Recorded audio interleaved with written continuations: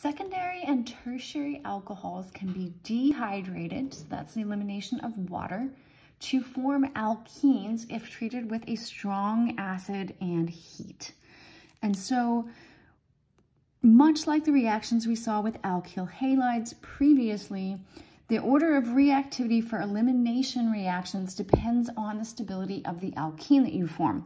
The more substituted of an alkene, uh, the lower that transition state energy, and so the faster the reaction. So we see that tertiary alcohols will undergo elimination reactions faster than secondary alcohols, which will undergo elimination reactions faster than primary alcohols. Tertiary and secondary alcohols undergo the E1 mechanism, while primary alcohols that cannot form stable carbocations will eliminate via the E2 reaction mechanism. So let's take a look at a few quick examples here. So I am going to start by drawing a tertiary alcohol. And so there is a tertiary alcohol. So if we want to do the E1 reaction, we're going to heat this up with a strong acid, so sulfuric acid and some heat. We want to look at what the major alkene product is going to be. And so the first thing that we need to do to do either an elimination or a substitution reaction of an alcohol is you need to take that really bad leaving group and convert it into a good leaving group.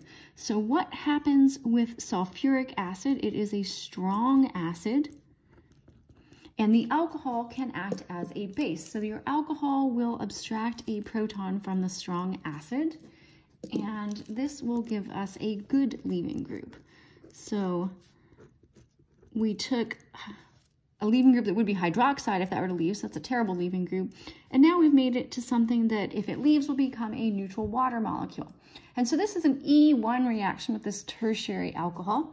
And so to start that E1 reaction, the leaving group will leave. And once it leaves, it will form that relatively stable tertiary carbocation. And so the next step will be to remove a beta hydrogen. So in an E1 reaction, you will form the most stable alkene that you can form. That's going to be the fastest pathway. So we've got beta hydrogens on this N-methyl group, and then we've got equivalent beta hydrogens on these two positions. I say equivalent because we have a plane of symmetry in this molecule. So we're going to remove the hydrogen that gives us the most substituted alkene. So I am going to use this beta carbon. Again, I could use this carbon. It has two hydrogens as well, and we give the same product. Um, so we've generated water here. Water can be a base. And this is going to remove one of those two beta hydrogens.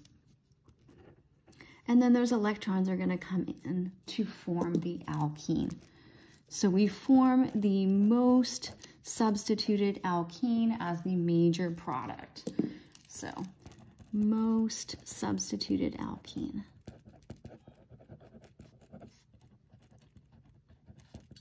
And that will be the major product.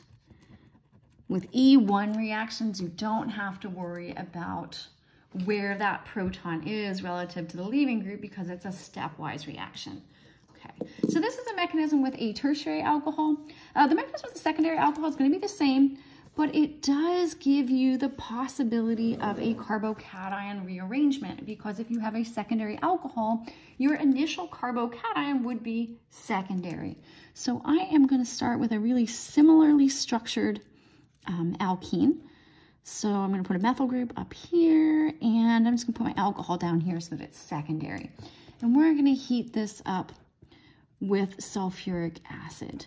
And so the first step is going to be identical. Your alcohol is going to react with that acidic hydrogen. So there's the sulfuric acid. The lone pairs of electrons on the alcohol make it a good base. So we're going to take that acidic proton and break this bond. So again, converting a poor leaving group into a good leaving group. And now that it is a good leaving group, it is going to leave. And so we will get a carbocation.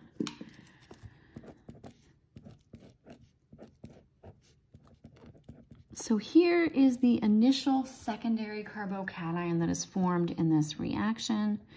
And if a secondary carbocation or any carbocation can rearrange to become more stable, it will do so and it will do so quickly. So this would happen before a step like this sort of thing could happen. Um, and so we've got this tertiary center next door. There's also a bond to hydrogen that was implied. We weren't showing that. Um, so what I'm going to do is a hydride shift, and that's going to move the carbocation to that tertiary center. And so now we have actually the exact same carbocation that we had in the previous example.